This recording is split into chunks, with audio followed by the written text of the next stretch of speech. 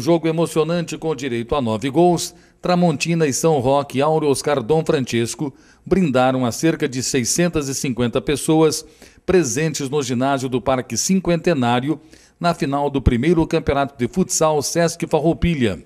Quem abriu o placar foi o São Roque através de Rodrigo. O empate surgiu quando o artilheiro do torneio, com 11 gols, Adalberto, estufou a primeira das duas vezes que marcou. Na alternância do placar, Lucas, Juca e Gustavinho também marcaram para a Tramontina. Nata e Orion descontaram para os vice-campeões. A equipe da Tramontina se manteve mais constante durante os 40 minutos de partida, levando a taça de campeão. O placar final ficou em 5 a 4. Quem esteve aqui no, no, ginásio viu um grande jogo. É, o título foi mais merecido pelo adversário, um time de qualidade nós sabíamos que ia ser ali, mas o time se empenhou desde o primeiro dia que nós viemos, entramos no campeonato.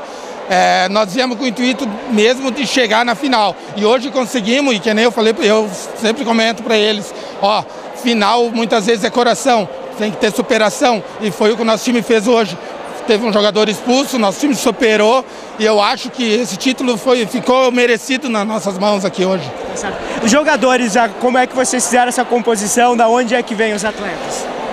Olha, eles montaram em cima da hora, reuniram dois, três, resolveram montar o time. Daí recebi o convite, minha primeira vez que eu estou treinando. Né, eu sou, por mim eu estaria jogando, mas não, não pude por uma cirurgia. Daí eles me convidaram para ajudar eles aqui. Eu falei, não, beleza, fui. E graças a Deus fui de pé quente. No primeira, primeira vez de treinador, já com o título, é muito bom. A pegou autoelétrica, bateu a atômica visual Rossicar Malhas Panes por 8 a 5 na prorrogação e ficou com o terceiro lugar.